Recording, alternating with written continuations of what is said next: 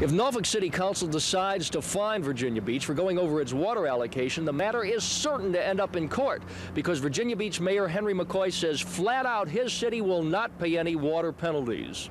If they're going to reopen this can of worms because of political reasons, then I guess we're going to have to jump back in the fight again. McCoy says the beach won't pay because the city did its part by pumping water into the reservoirs with wells constructed by Virginia Beach.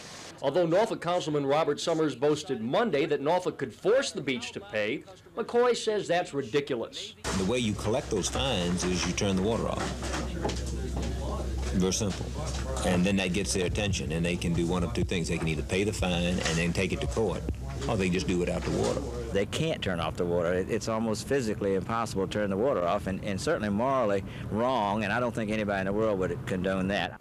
Meantime, the Virginia Beach mayor accuses Norfolk of blowing it again and being less than neighborly. Everybody preaches regionalism and says we ought to have regionalism and cooperation, but there's a lot of hard feelings that apparently still among the communities. Mike Deason, The Daily News.